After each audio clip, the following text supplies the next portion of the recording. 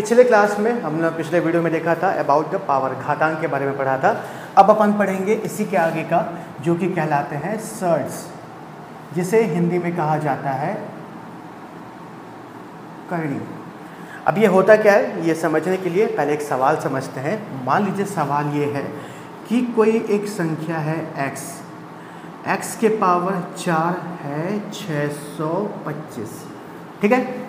अपन घातांक तो पढ़े हुए हैं पावर पढ़े हुए हैं तो ये समझ में आएगा आपको कि कोई नंबर है जिसके घात में है या जिसके पावर में है चार और इक्वल टू है 625 और मैं आपसे कहूँ, अगर ये ऐसा है तो x इक्वल टू क्या होगा?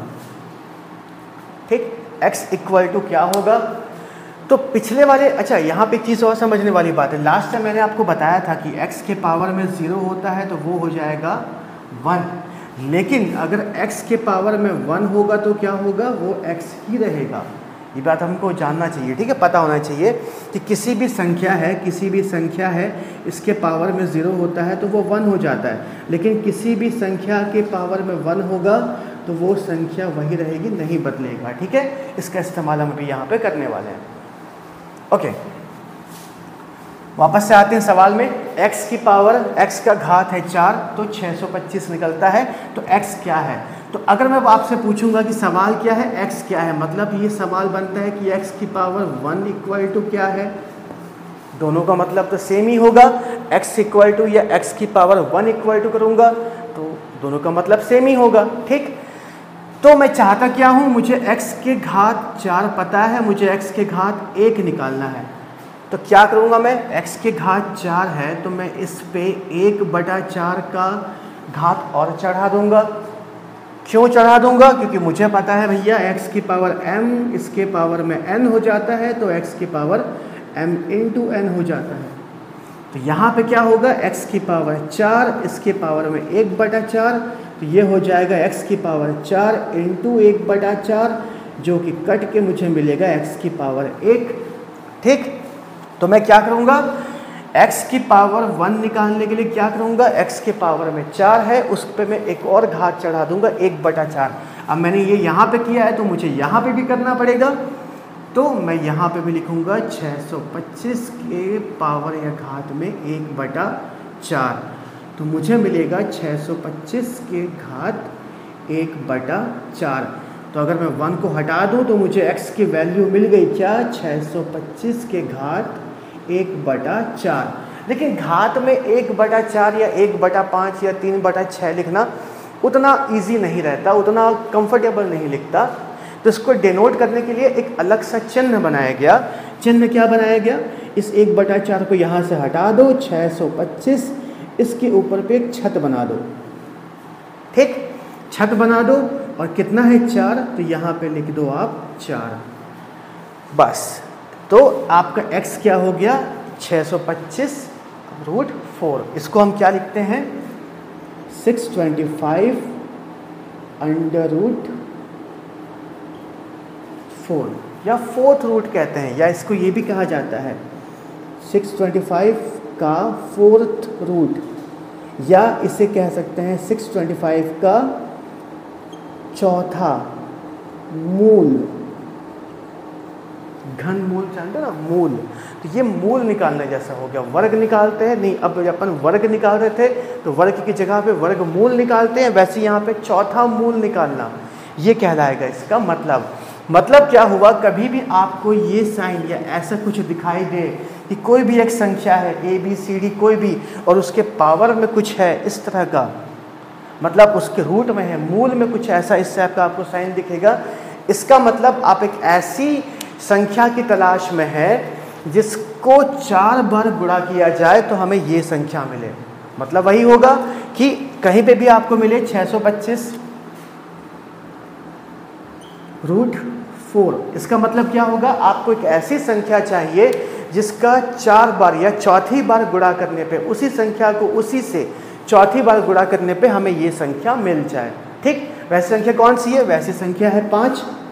क्योंकि पाँच का पाँच का पाँच का पाँच का आपस में गुणा करने से हमको मिलता है 625 तो इसका मतलब हो जाएगा पाँच।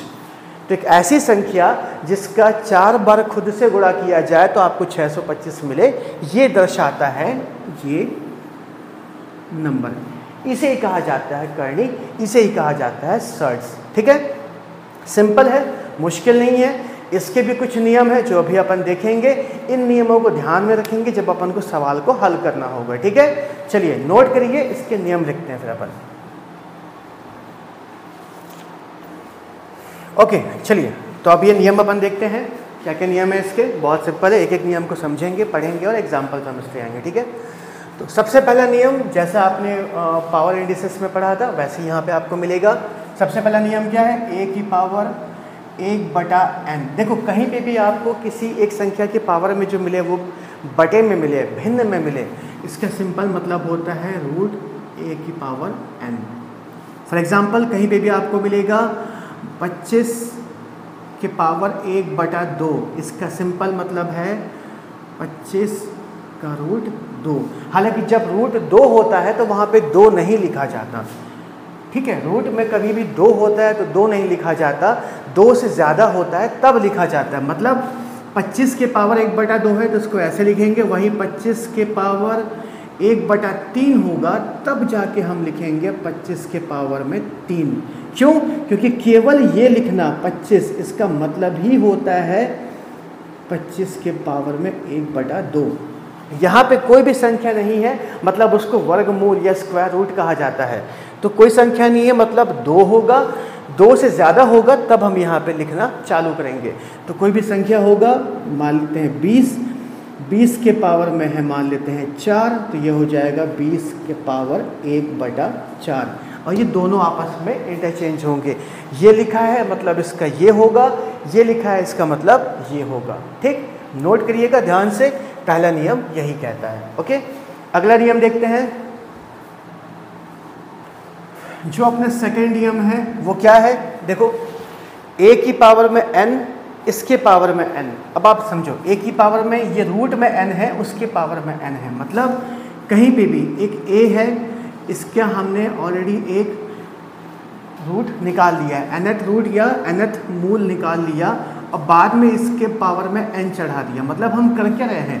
इस अंदर वाले का मतलब क्या होता है? ए की पावर एक बटा एन इसका मतलब तो यही होता है और इसका मतलब क्या होगा? इन सब के पावर में एन तो अपन ने पहले पढ़ा हुआ था कि ए के पावर में एम हो, उसके पावर में एन हो तो क्या होगा? ए की पावर m इंटू एन हो जाएगा। ये आपस में गुणा हो जाएँगे। वैसे ही ये भी आपस में गुणा हो जाएगा। तो क्या हो जाएगा? ये हो जाएगा ए के पावर एक बटा n इंटू एन तो क्या बचा? ए के पावर में कुछ नहीं बचा। मतलब वन बचा, क्योंकि ये तो आपस में कट गया। वन हो गया। ठीक? वैसे भी मूलतः देखा जाए तो अपन एक दूसरे की जो विपरीत एक्शन है, उसी को तो एक साथ कर दिए ना। तो यहाँ पे ए बचेगा। ठीक है? तो ये कुल मिला के आपका ए बचेगा। ध्यान से नोट करते जाइएगा एग्ज़ाम्पल के साथ में। अगले में आते हैं। इसके एग्ज़ाम्पल भी अपन देख लेते हैं। पच्चीस। पच्चीस का मान लीजिए मैं निकालना चाहता हूँ। तीसरा थर्ड मूल या थर्ड रूट और मैं इसका कर दूँगा तीन गुना। तो मैं क्या कर रहा हूँ? पच्चीस का पावर में कर रहा हूँ। एक बटा तीन और इसके पावर में मैं कर रहा हूँ तीन। बेसिकली क्या बचा? पच्चीस। क्यों? क्योंकि एक बटा तीन का गुड़ा होगा। इस तीन से ये ये कट गए। मुझे क्या मिला? खाली पच्चीस। ठीक? एग्ज़ाम्पल समझ में आएगा? सिंपल है? हम्म। इसको मिटा रहा हूँ। अगला अपन देखते हैं। थर्ड वाला जो अपना है।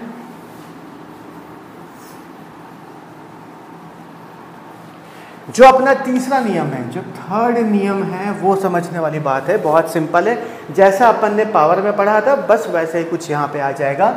वहाँ पे भी अपन ने पढ़ा था ए की पावर बी की पावर ए इंटू बी जैसे भी अपन एन में सेम वैसे यहाँ पे अपन देख लेते हैं ए बी दोनों के घात में एन दोनों के पावर में एन का रूट चढ़ा हुआ है। ठीक है? इसको मूल कहेंगे रूट कहेंगे ना?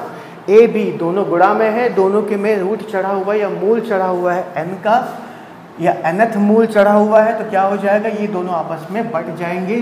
ए के ऐसा हो जाएगा इंटू बी के।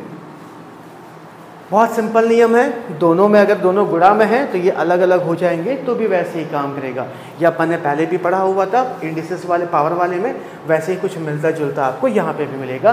इसका इस्तेमाल हम करेंगे क्वेश्चन को बनाने में। फॉर एग्ज़ाम्पल समझ लेते हैं अपन, मान लीजिए पाँच इंटू आठ है, और इन दोनों के में ये है तीसरा मूल थर्ड मूल है तो ये हो जाएगा पाँच थर्ड इंटू आठ थर्ड ठीक? सिंपल बहुत मुश्किल नहीं है, मत चिंता करो। क्वेश्चंस बहुत आसानी से बन जाएँगे इनके। मैं बताऊँगा आप लोगों को। आगे देखते हैं, ये नियम को आप लोगों को लिखते जाना है, ठीक है? सेम चीज़ अब यहाँ पे है, जैसा अपन ने पहले भी देखा था, वैसे कुछ आपको मिलेगा। देखो, जो मैं हमेशा कहता हूँ, ये दिखने में भयानक दिखता है है नहीं भयानक। कैसे? है क्या? ए का अपन निकालेंगे एनथ मूल, इसका हम निकालेंगे एम मूल। एन चढ़ा मूल में मतलब एक ऐसी संख्या जिसको एन बार गुणा करने पे ए मिलेगा और जो संख्या बनी, उसके लिए हमको ऐसी संख्या निकालनी है जिसको एम बार गुणा करने पे वो संख्या बनेगा। मतलब वही होता है, थोड़ा लंबा खिंच जाता है। ये चीज़ यहाँ पे है। इसका मतलब क्या हो रहा है? ए पावर ये एन है तो ये एक बटा एन हो जाएगा। ये इस सब पे चढ़ा हुआ है तो ये इसके ऊपर चढ़ के एक बटा एम हो जाएगा। ठीक, अपन ने पढ़ाई हुआ इसको। अब ये दोनों आपस में गुड़ा होंगे तो ए के पावर में क्या होगा? एक बटा एन इंटू एक बटा एम क्या हो जाएगा? ए के पावर में एक बटा एक बटा एम एन एम एन आपस में गुड़ा हो जाएँगे तो एम एन हो जाएगा, जिसको मैं कैसे लिख सकता हूँ? ए के पावर में एम एन लिख सकता हूँ? बस वही चीज़ यहाँ पे लिखा हुआ है, ठीक? ये आपस में ऐसे हो जाएँगे, इसके बाद ये ऐसा हो जाएगा, ठीक है? देखिए, इन सबको हमको ध्यान में बस इसलिए रखना है क्योंकि हमसे सवाल बन जाए एग्ज़ाम में। बहुत ज़्यादा हमको इनमें शोध नहीं करना है पीएचडी नहीं करना है। एग्ज़ाम में क्वेश्चंस बनने चाहिए। इन कुछ चीज़ें ऐसी होती हैं जो थोड़े टिपिकल होते हैं और हम चाहते हैं कि भैया बस ये एग्ज़ाम में हमसे बन जाए ताकि नंबर आ जाए सिलेक्शन हो जाए, ठीक है? तो इस पर ज़्यादा हमको शोध में नहीं जाना है। मैं पहले ही आपको बता रहा हूँ, बहुत समय जाएगा आपका वरना। आगे जाते हैं। अगला नियम देखते हैं। ये आपका नियम चौथा था।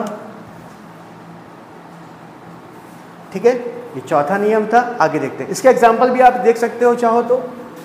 पाँच पाँच का रूट है, मान लेते हैं तीन, इसका रूट है, मान लेते हैं चार। तो ये क्या हो जाएगा? पाँच के घात एक बटा तीन, इन सब के घात एक बटा चार। तो मतलब क्या हो जाएगा? पाँच के घात एक बटा तीन, चार का गुणा हो जाएगा बारह। तो ये हो जाएगा पाँच का बारहवा मूल। या बारहवा रूट रूट आ जाएगा यहाँ पे, ठीक है? रूट आएगा, मूल आ जाएगा। ओके? हम्म। चलो, अगला एग्जांपल अगला नियम देखते हैं। इसको मिटा देता हूँ। पांचवा नियम पांचवा नियम फ्रैक्शन पे आ गया है। कभी भी ए बटा बी हो, इसके फ्रैक्शन का ऊपर में मूल हो एन का तो वही मतलब हो जाएगा ए के घात ये ए पे आ जाएगा अपॉन बी इस पे भी आ जाएगा। ठीक? जैसा अपन ने पहले पढ़ा हुआ था, बस ये दोनों पे आ जाएगा। यही अपने को देना है, देखना है। यहाँ पे क्या हो जाएगा? ए बटा बी है, हमको पता है ये घात, जो मूल आता है रूट आता है, इसको कैसे लिखते हैं? ए की घात एक बटा एन लिख देते हैं। या आप इसको चाहो तो ऐसे भी लिख सकते हो ए के ऊपर में एक बटा एन अपॉन बी के ऊपर में एक बटा एन सब का मतलब एक ही होता है। ठीक? तो ये नियम है, इनको नोट करिए आप लोग, ध्यान से पढ़िए। अगले वीडियो में हम इनसे जुड़े क्वेश्चंस को बनाएँगे, क्योंकि एग्ज़ाम में एक या दो क्वेश्चंस बिल्कुल आते हैं तो हमें क्वेश्चंस को तो बनाना ही पड़ेगा, ठीक है? स्टार्टिंग करेंगे हम सिंपल सवालों से, इसके बाद हम टफ सवालों में जाएँगे ओके ठीक है? मिलते हैं अगले वीडियो में।